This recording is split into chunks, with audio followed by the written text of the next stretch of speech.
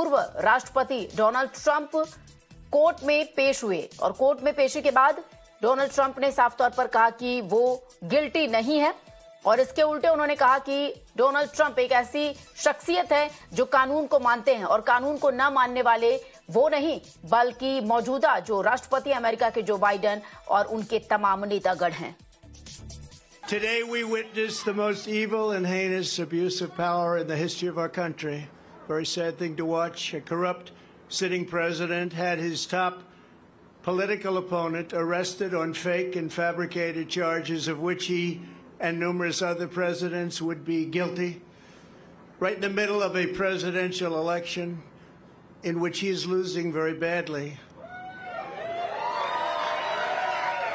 This is called election interference and yet another attempt to rig and steal a presidential election.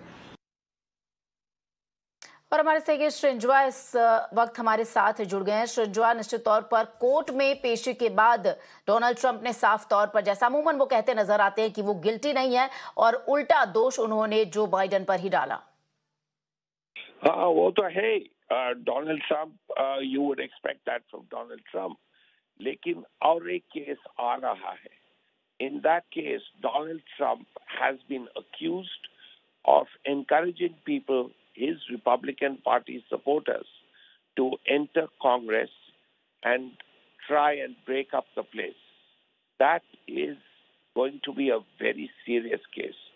और उसमें evidence भी पूरा से पूरा है तो अब देखते पड़ेगा वो कब आएगा और क्या होता है लेकिन और एक बात है ये केस खाली ट्रंप के खिलाफ नहीं है जी this is a problem that the whole country will face because Trump could well be the Republican Party candidate for the next election.